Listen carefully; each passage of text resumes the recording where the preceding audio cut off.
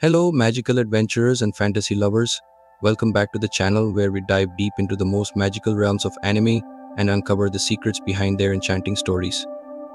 Today, we're venturing into the enchanting world of I Was Reincarnated as the Seventh Prince, focusing on a pivotal moment in episode 6, where magic and emotion blend to create powerful bonds with magical creatures.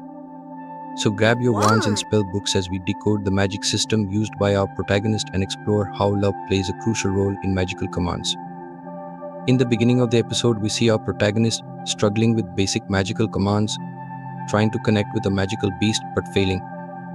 It's a classic scenario talent meets obstacle.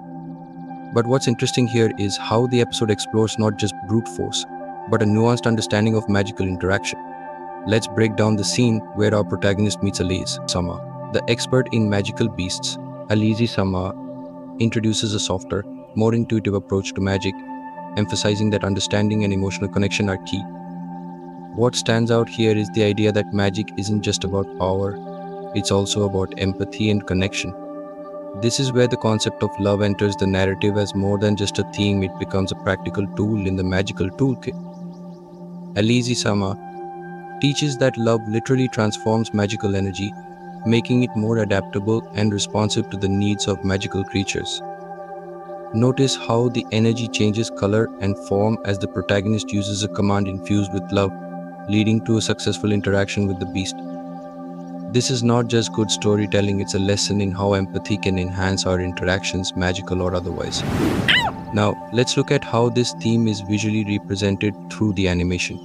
On the left, you see the rigid, forceful commands that fail, on the right, the successful command is fluid and vibrant, mirroring the emotions conveyed.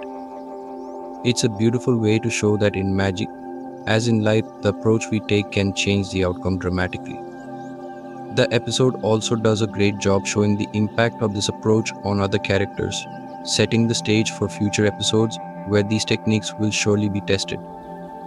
As we close this chapter of our magical analysis, Remember that I was reincarnated as the seventh prince offers more than just entertainment.